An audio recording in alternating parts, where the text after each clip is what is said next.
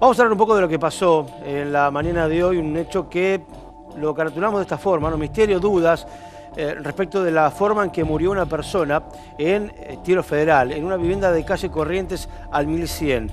Eh, para explicarlo ahora algo más, o dar algún detalle, parte de lo sucedido, el propio comisario Bechaca, que tiene su jurisdicción en ese sector, pero está claro que hay algunos datos que no terminan de cerrar sobre este hombre que apareció donde nadie creía que estaba. No era su casa, aparentemente había estado un rato antes en una cena, se fue de ahí con los dueños de casa, pero volvió para quizás robar, cuando ya no había nadie, no estaba ni el dueño.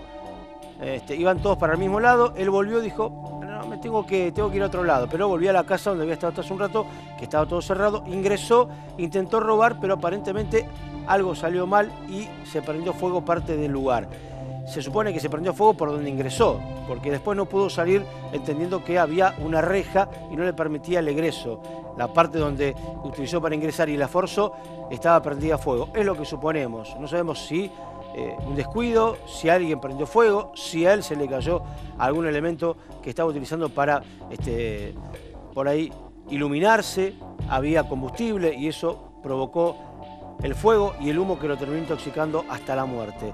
Un hecho muy particular que ocurrió esta mañana en la ciudad. Más datos nos da el comisario Bechaca respecto de esta muerte de un joven de más de 30 años de apellido Isaías.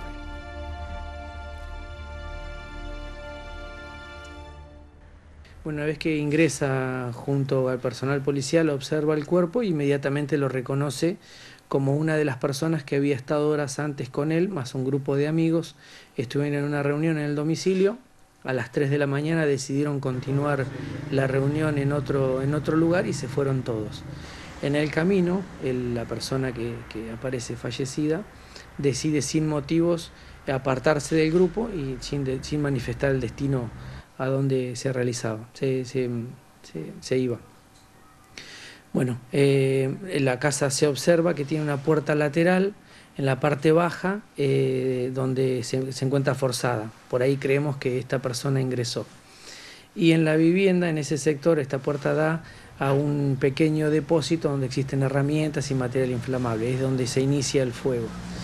Consideramos que esta persona se vio, una vez que se inicia el fuego, se vio imposibilitada de salir trató de irse para la, para la parte de atrás donde todas las aberturas tienen rejas y al no tener eh, lesiones visibles el cuerpo, creemos que fue la muerte se produjo eh, debido a la inhalación de monóxido de carbono.